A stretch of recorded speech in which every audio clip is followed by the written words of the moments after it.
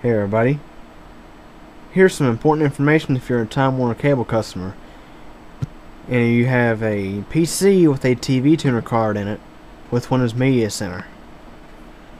Now you might have already noticed this if let's say you're um, let's say probably in Maine or a couple other places that have Time Warner they have done the all digital conversion but in the Charlotte area they had just now decided to start taking away analog channels.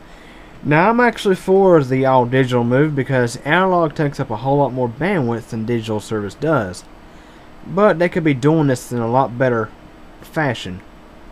Basically, what they're doing is they're taking analog channels out of the lineup, the basic tier, and are now saying you need to have a digital adapter to view those channels.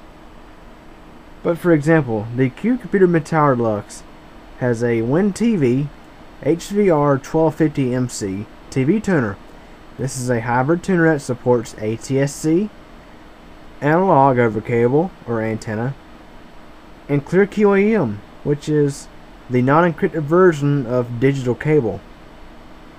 The Clear QAM service is a real basic digital service that could be very useful but Time Warner Cable and many other cable services do not see it see it that way.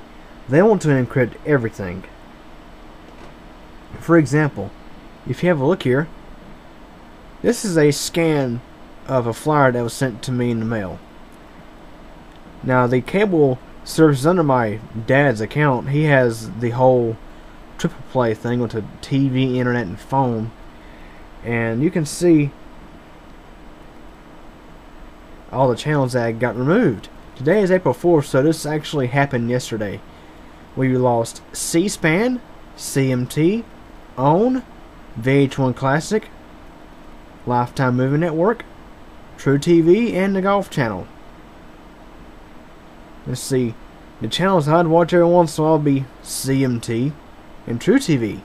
Those are now gone from the uh, lineup, so I can no longer record TV shows using my computer. Let me explain why. I called Time Warner about this, and the person who answered the phone, now nothing against them, but they just did not have a clue about what what they were talking about here. They had they didn't even know that PCs could even be, be used as TV DVRs. She didn't even realize until probably I don't know um, 10 minutes into the phone call that I was using a computer to record my TV shows, and it took her initial five minutes to figure out that the computer actually has a TV tuner card in it. And it wasn't some sort of adapter. The cable line plugs into the back of the computer.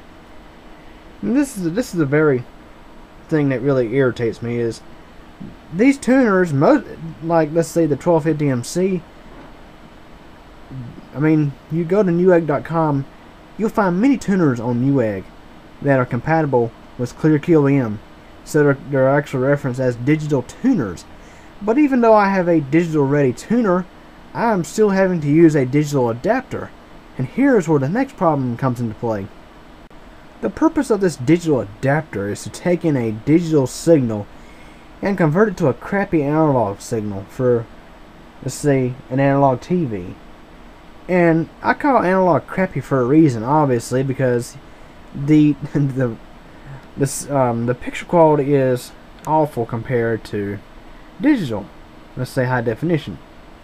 Now this said digital adapter does have an HDMI output, but from what I've heard, it does not put out in 1080p or even 720p high definition. It puts out in standard 480p or 480i, and that's what really irritates me. Is Time Warner's encrypting is making everybody get this digital adapter. And starting in 2015, we're going to start charging a dollar a month per adapter. And the problem is, Windows Media Center does not get along too well when you have a separate box doing the tuning job. Basically, this adapter, to hook it to my computer, I have to set it to either channel 3 or 4 and get a um, IR blaster for Windows Media Center and just configure everything.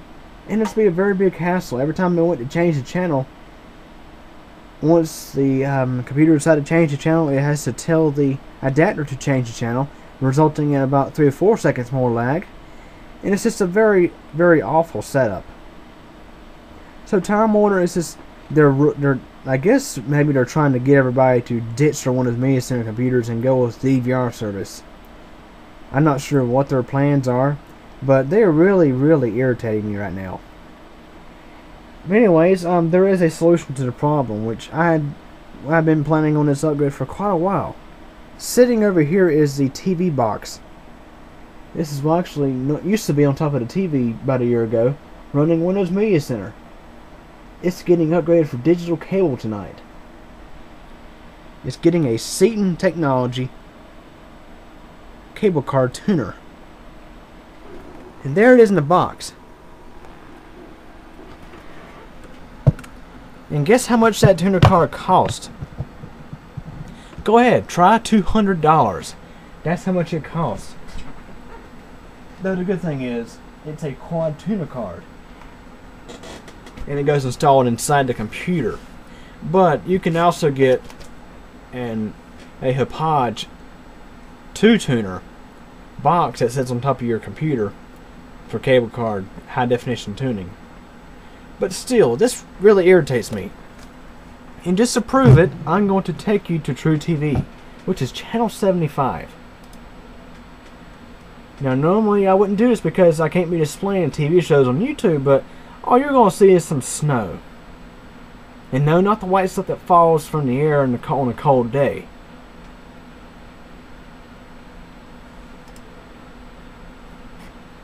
Go find truTV. Oh yeah, with Time Warner Cable? Well, I'm only getting five total Clear QAM channels, and they're all these weird local channels I never heard of before. So here's truTV, and the um, Windows Media Center guide is still not up to date with this. It probably has tried to record a TV show off this already. But let's go ahead and tune in and listen to the snow if it makes noise or not. You will see a snowy picture. As you see, truTV is completely off the air. Let's go to channel 70, C-SPAN.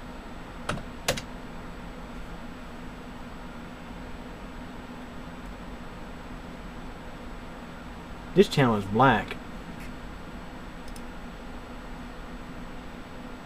Go to 95, that would normally be on.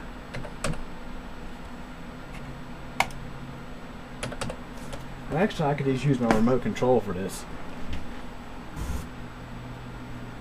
But as you see, we're getting snow. I'd say it's pretty awful, if you ask me. So let's go back to um, 69. That'd be VH1 Classic.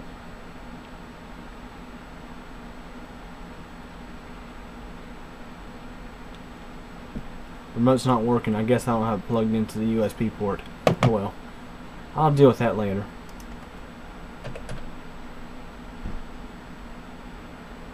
What's this? Try to turn into this show.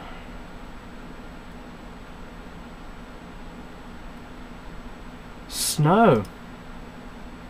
How about 72?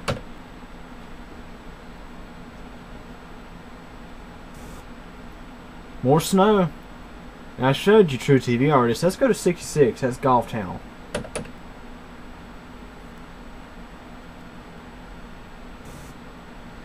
It was funny. It try it tries to tell me to update PlayReady when it sees the snow.